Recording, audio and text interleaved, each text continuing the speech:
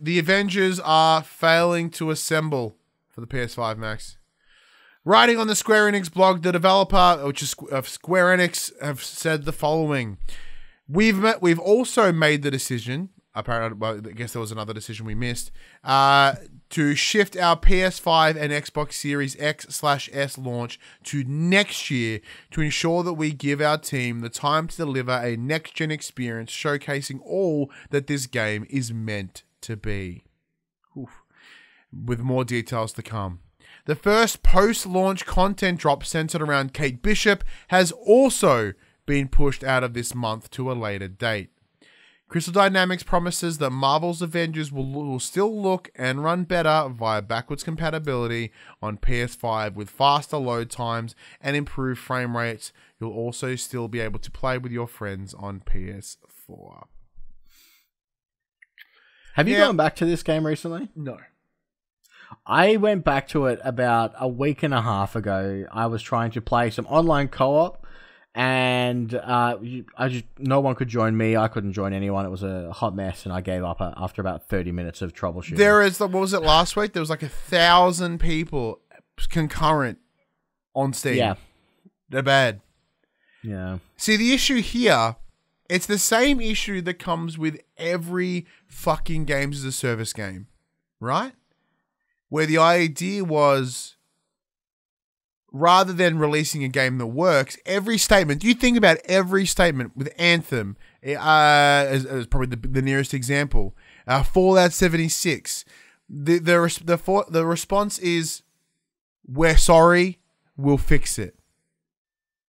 Not not because they un- not because they they uh you know there's actual problems. It's because they under delivered and they released a shitty game. And the same thing's been done here. They'd be like, look, we understand the game's broken. We're fixing it. We're sorry. That's not the conversation you should be having. The conversation you should be having is very similar to like what you get from Fall Guys, and they're like, hey, we're really sorry that our game's not working for everyone because it's so popular, the servers are not keeping up. That is the conversation you should be having, not the game is fucked. We're sorry that you're disappointed. Well, I think apart from the technical issues that this game is having, the other issue that all these games run into is they say here's we're, we're not going to put the end game content in at launch it will be added after and they take too long to put in Yeah. their end game content they they fail again and again to realize how quickly gamers get to end game content in games like these because that's realistically when the game really starts In- for a lot of these that's when it should games. start. But what we're And- seeing is we're seeing this trend where they're failing to do so. It's almost like- like, they they they they sit there and they tout these 10 year plans, these decade long plans, but you can tell they clearly had no goal outside of the fir- Hmm. outside of launch because if they did, Endgame would be in there and there would be like not road mapping shit and then constantly moving these barriers. They would have it lined up. They'd have it ready to go, or they would just fucking give it to you.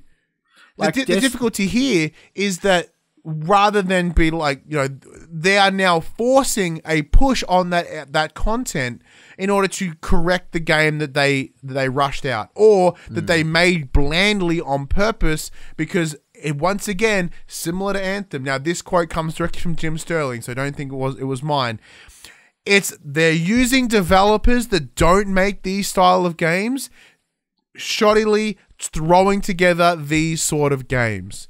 Like Square Enix don't make games as a service.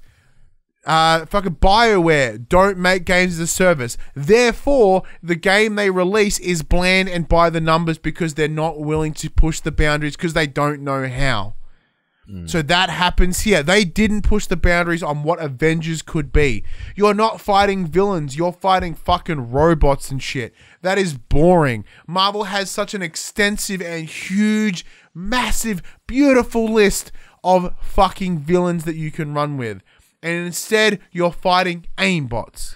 Well, see, to play devil's advocate, I wonder how lenient uh, Marvel have been with what uh, licensed characters they can use in this game.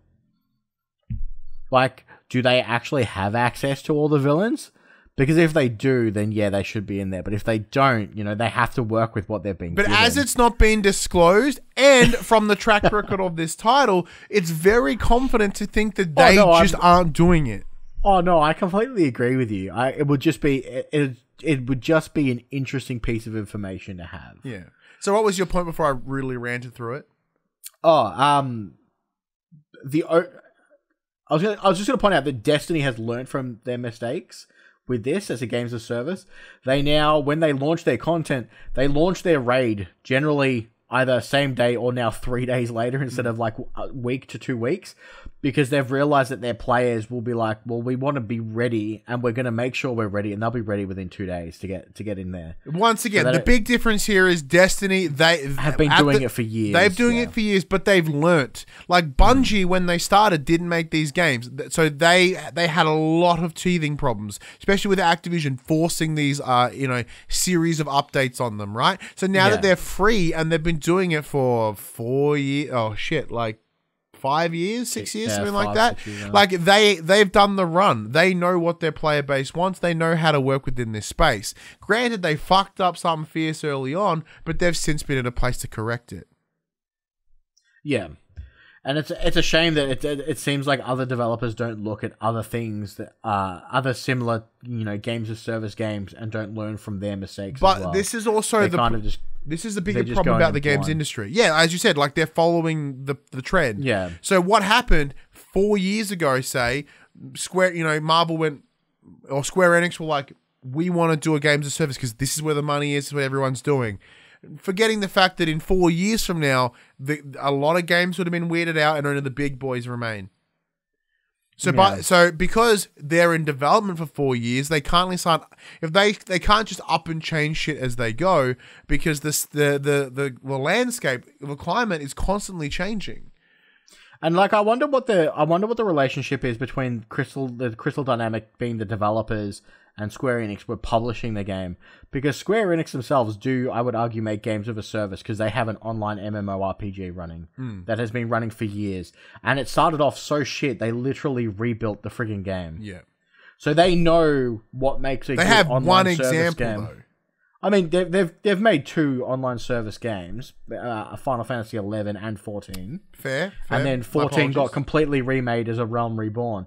So I would argue they have a little bit of knowledge, and I wonder if they actually shared any of that information with Crystal Dynamics, or if Crystal Dynamics have been left to swim in the deep end and just see how well they can tread water. Well, for them, they're just the publisher in this circumstance. With Square Enix Yeah. is the dev. Now, granted, like True. Squ- Square Enix and and and uh, uh, uh, uh, fuck, what are they called? Crystal Dynamics like have a Crystal working Dynamics. relationship. They've been working together for a long window of time, so you would presume that communication would be there. But it, de- it depends. Like a when you've got the likes of Disney and Marvel on their back, you don't know how hard that they're Hmm. they're been putting on there, or you know what they can and cannot do. So benefit of the doubt. But like I said, I'm more confident that it's just they just delivered a subpar game because they didn't know how to do it correctly, yeah. Which is, which is sad. It's a, it's a bummer. And then right now, the people that want to play this game are left short. No one's going to give a fuck come next gen because no one gives a fuck now. Yeah. So this alleged 10 year plan is going to be done within six months. This game came out in what September? Yeah. It's it's they they've just celebrated their like one month anniversary or whatever. and no one's playing weird- it. Yeah. yeah. That's a horrible thought.